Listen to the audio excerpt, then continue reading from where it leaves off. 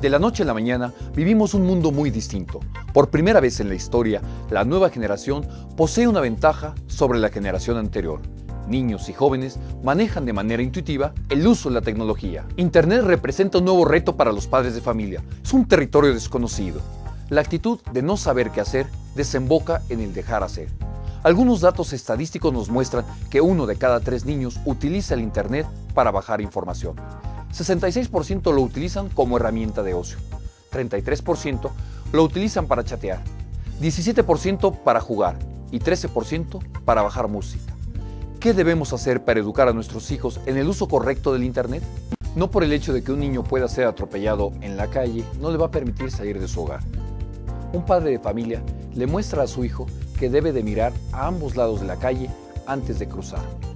Exactamente igual tenemos que hacer con nuestros hijos para enseñarles cómo deben circular en la carretera de la información. Algunas recomendaciones que damos son 1. Colocar la computadora en un área familiar. No es conveniente que estén en la habitación de los hijos. 2. Colocar filtros en las computadoras que estén en casa y platicar con ellos de las razones por las cuales los colocó. Tercero, fomentar que tengan un propósito cuando naveguen, para no caer en una búsqueda ociosa. Cuarto, no castigar a sus hijos por haber visto o leído algún material no apto para él. Es más conveniente que aproveche este incómodo momento para hablarles claramente sobre los riesgos que puedan encontrar. 5. Establecer reglas y límites claros en casa sobre el tiempo y el uso que se le va a asignar al Internet. El Internet es una maravilla de la tecnología. El reto está en usarlo correctamente.